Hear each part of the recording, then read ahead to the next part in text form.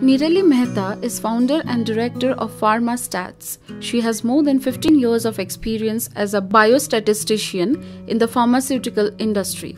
She did her postgraduate in statistics from School of Sciences, Gujarat University.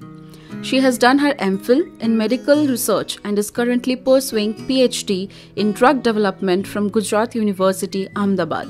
Ms. Mehta has lastly associated with Torrent Research Center for 8 years. Prior to that, she has worked with Wockhardt Pharmaceuticals, Sterling Hospitals, Sal Hospitals, Gujarat Cancer and Research Institute, and St. Xavier's College, Ahmedabad.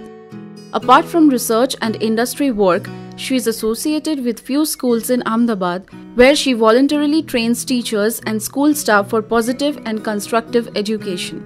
In 2013, she brought an innovative training concept called PharmaStats to bridge the industry requirements and college education.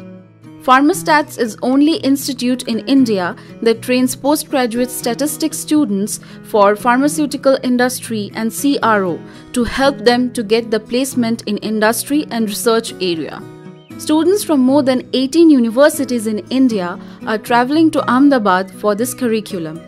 PharmaStats works with global clientele from India, USA, Malaysia, China on statistical and clinical services. She has also recently started a biostatistician training and placements curriculum in China and Europe.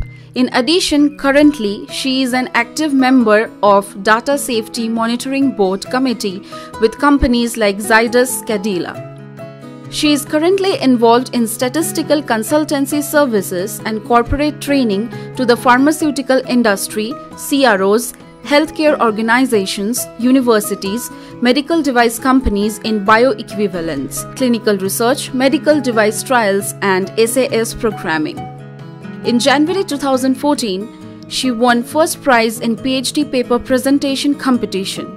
She has received an appreciation and recognition award by Gujarat University, has been a youth talk speaker at Ahmedabad.